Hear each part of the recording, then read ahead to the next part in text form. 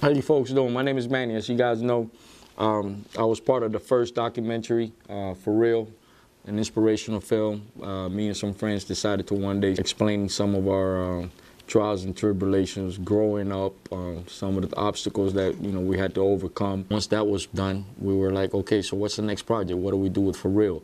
Do we just stop now, or you know, do we keep the movement going?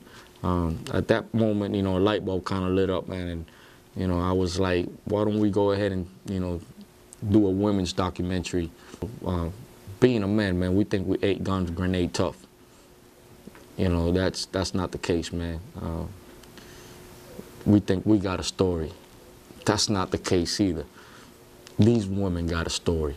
Now that, you know, we're on the other side of the fence working in the substance abuse field, we wanted to tell other folks that may be in similar situations or family members that, that know individuals in their families, friends that are going through this, that, you know what, there is hope.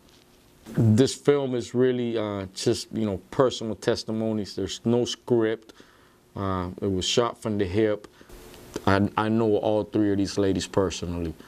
Um, I've heard their stories, and I know where they're at in their life today. Um, you know, I, have been working with them now in this film, and I, I, just hope that you guys can capture, uh, you know, what, what I captured when first time I heard them speak.